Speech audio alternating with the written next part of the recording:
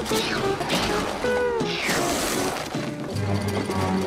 worry, Squidward. I'll turn it off. Uh, hang on, please. Please, just one more minute, Nick.